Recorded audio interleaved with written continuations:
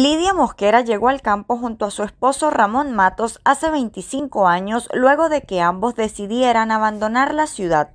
En la búsqueda de una vida más tranquila se toparon con una montaña desierta ubicada en el municipio Lobatera en el estado Táchira. Románticos decidieron quedarse con la intención de generar un despertar. Diez años más tarde, Matos abandona el plano terrenal y Lidia junto con su hija se quedan para hacer una inversión inicial que tardaría en dar frutos. Hoy por hoy, Lidia y su familia viven del campo. Tenemos muchísimas abejitas que, que requieren también las flores. Entonces yo voy a empezar de aquí.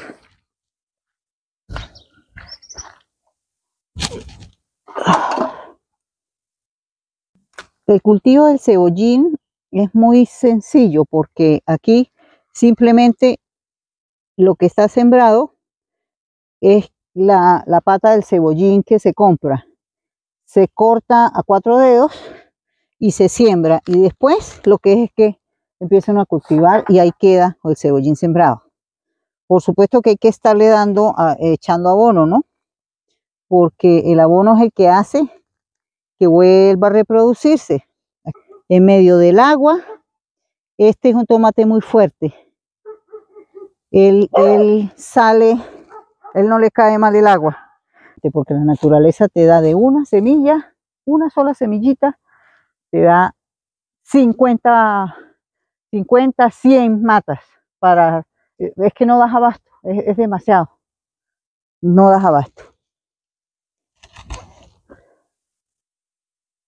Eh, nosotros cuando llegamos aquí estuvimos a punto de irnos porque no había agua en la montaña. Y eh, decidimos entre todos por nuestros ancestros que nos dijeron que teníamos que armar un, lago, ubicamos este lugar y organizamos este lago que, que nos sorprendió porque se inundó al como a los 15 días de estar cerrada la vertiente, eh, se inundó completamente de agua y para nosotros fue mágico. ¿Por qué? Porque empezaron a llegar patos, eh, otro tipo de aves, algarabanes, otro tipo de aves que no, no habían aquí. Aparte de eso, eh, esta laguna también surte de agua a toda la comunidad, a los que ayudaron en realidad en el proyecto de para los que siembran, ¿sí? los agricultores. Y también eh, beneficio de, del clima, el clima cambió aquí.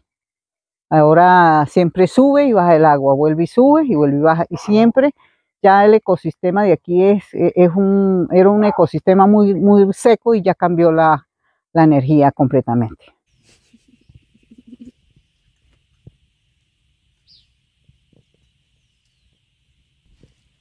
Actualmente Lidia se dedica al cultivo y la costura. Domingo, su pareja, es productor pecuario de animales como cabras y ovejos.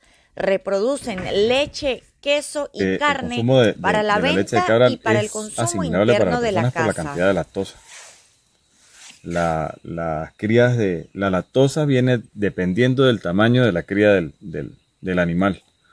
La vaca lógicamente produce lactosa en base a un animal de 30 kilos en promedio, o sea, 10 veces más que el, que el, del, el de una cabra o el de una persona. La cabra más o menos el peso de cada cría está entre 2,5 3 kilos, más o menos, o sea, es muy similar al peso de, un, de una cría de ser humano. Entonces la lactosa que produce es muy similar a la de la leche materna. No es que no contenga lactosa, sino que la lactosa que contiene es muy similar a la de la leche materna. Para Lidia el campo lo es todo. Les resulta muy gratificante alimentarse de lo mismo que han cultivado. Lo que sí tienen claro tanto Lidia como Domingo es que para vivir de la madre tierra se debe ser autosustentable. Bueno, los beneficios son innumerables.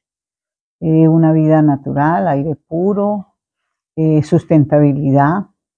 Sustentabilidad hablo de, todo lo que es eh, sembrar eh, hortalizas, todo lo que uno mm, requiere en la cocina, eh, también tener animales, eh, plantas, flores, una vida muy especial, mucha naturaleza, aire puro. Me parece que las ciudades se crearon para, son, son anti, antivida, porque es un mundo de consumismo y vanidad.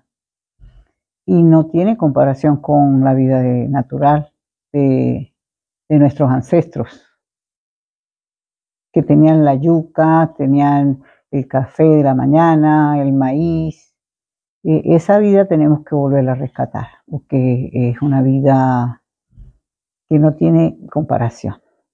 Los campos fueron abandonados y no tenemos aquí nada sustentable al principio, pero después de que empieza a ver que si las gallinas ponen los huevos, que si saca uno el cebollín de la huerta, el cilantro, la zanahoria, que si tienes lechuga para una ensalada, los tomates.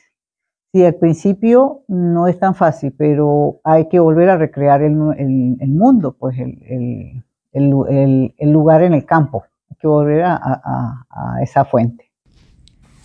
Finalmente, el llamado es a seguir cultivando, cuidando y preservando a la madre tierra. El campo no tiene que ser sinónimo de olvido o de abandono.